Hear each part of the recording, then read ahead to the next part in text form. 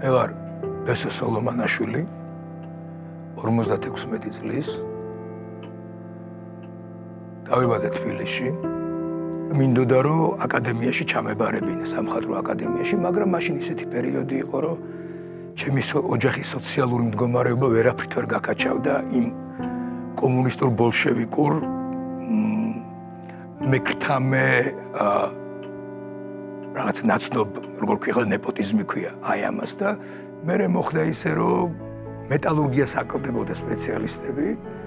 ვიყავი პროფესიით კოსმოსური შედუღების და რაღაცის რაღაცა სამეცნიერო ხარისხის კი მაგ დაცული თაზასაცილო პერიოდი იყო. დავამთავრე ეს მეტალურგია. ამაჩემ სხვა გამზადებული ქონდა რაღაცა კასპის ელექტროსაკავშირო ელექტროქარხნის თავარი ინჟინრის ადგილის რაღაცა ამბავი და დავიხურე ქავი და წავედი თუშეთში ფიზიკა-მათემატიკის მასწავლებლად. ერთი და ორი ბავშვი მყავდა კლასში. მასწავლიდი ფიზიკას და მათემატიკას და იმათ ჯეროდათ რომ ვიღაცა ზრუნავს ამაზე.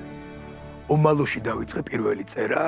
ამის შემდეგ რო ჩამოვედი თუშეთიდან ერთხელ ჩემ მეგობრებთან პოლიტექნიკურ ინსტიტუტში ვარ მისული და იქიდან მოდივარ და ცირს გდია გაზეთი კომუნისტი. ავიღე და წერია. რეჟისურაზე, ჯგუფის, აბა ეს ეს თეატრალურ ინსტიტუტში. აი ეს წავიკითხე, აი რატო უნდა აიღო ხოძირს დაგდები? არ ვიცი. ავიღე და მივედი. мама ჩემი არ ცნობდა ჩემს პროფესიას. ესე მითხრა რა, რომ ძალიან ძიმე გარემო ვაო რა.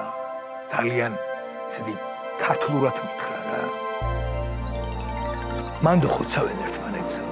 ესე მითხრა. შენ არ გაგატანინებ. პირდაპირ ბატონ რეზო ჩხეიძეს მივწერე ღია წერილი ბატონ რეზო ჩხეიძე. ბატონ რეზო რაც ჩემს გარშემო ხდება ეს პერიოდია რონული მოძრაობა.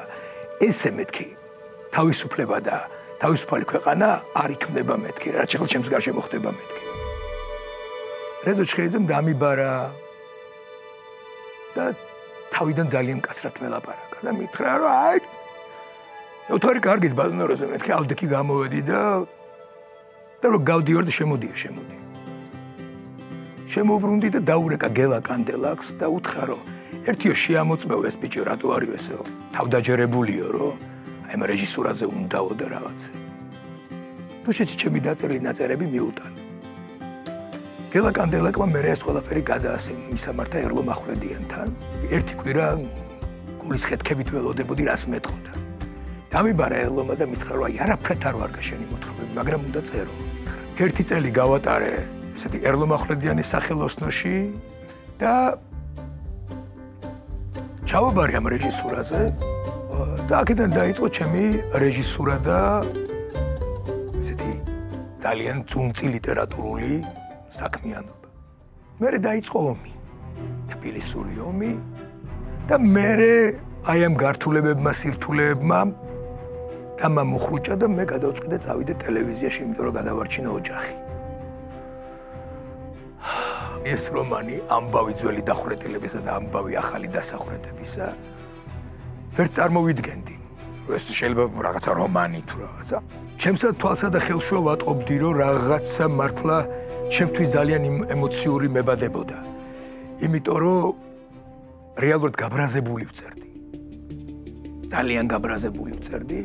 იმიტომ რომ ძალიან არ მინდა ისე რუსულ იმპერიის აურაში დაბრუნება და ეს ნელ-ნელა ნელ-ნელა შემომერომანა და არ ვიცოდი არაფერი დამიბრეკეს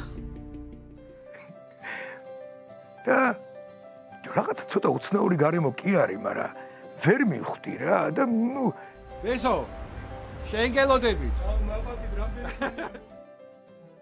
რა ტიტრიალდება? და საბა საუკეთესო რომანი გადაეცნო. აი ერთი წამი არ არის იმ კადრებში რაღაცა ნათამაშები. ნამდვილად არ მჯეროდა. და გავბრაზდი კიდე ცოტა რომ რა სათამაშოა ეხლა ეს რო ეგ საბა მომეც და მე ეს ჩაჩასოვან არ ჩასო იმაში რა რაღაცა მომენტში შეიძლება ის ბოლოს იმდენზე რატი გამიბრაზა წაიკითხე შენი გვარი. აი იმას რა გაგიძახეთ გადმოგვიდეთ